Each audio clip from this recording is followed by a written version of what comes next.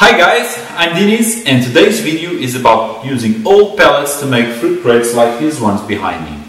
The only material used here, apart from uh, wood glue and nails, is the wood from the pallets itself. The boxes are fully stackable, which means they can be aligned on top of each other, just like this.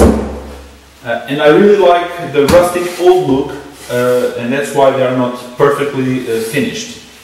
In the video I'll show you how to build these boxes. I hope you guys like the video and if you do, please like and subscribe. Thank you.